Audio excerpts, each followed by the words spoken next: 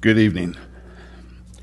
Regarding the supplemental school levy, personally, I'm offended that you believe the majority of this area's citizens are willing to relinquish the right, privilege, and responsibility to vote every other year on a measure that directly impacts the taxes we hand over to the government for disbursement to this district to further your agendas. The first rule in business for proper use of operational funds is not to use more than the necessary to produce the best results.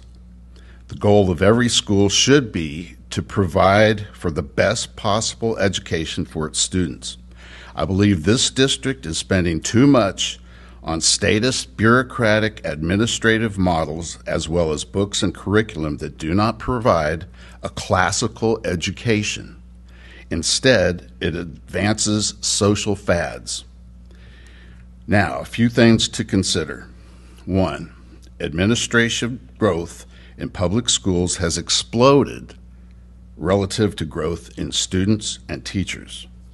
Two, there is free educational curriculum available from a number of sources, such as the well known Hillsdale College K 12 curriculum.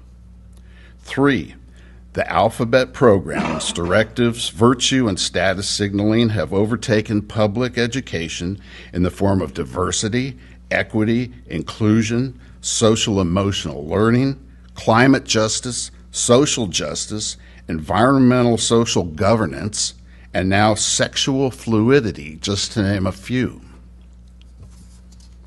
Four, more than a third of students in reading and half of the students in math do not meet proficiency levels, and yet the graduation rate is 91%. How does that work?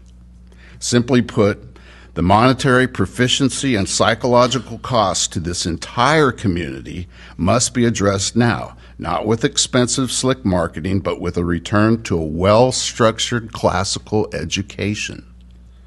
You're constantly answering citizens' questions by saying, it's for the kids. The woke programs and curriculum are not being done for the kids, but rather to the kids. Is that why you want millions upon millions of tax dollars to be levied upon citizens for an indefinite period of time and remove their ability to vote, holding you accountable in the future? Is it? Now I've heard you're sending out absentee ballot request forms using the children as couriers, which sounds like an attempt at ballot harvesting. It may or may not be legal, but it definitely fails the morality test. The road you are forcing us to travel is allegedly lined with good intentions. Before reaching our destination, That's three minutes. we'll all be begging for mercy. Thank you for your time. Thank you.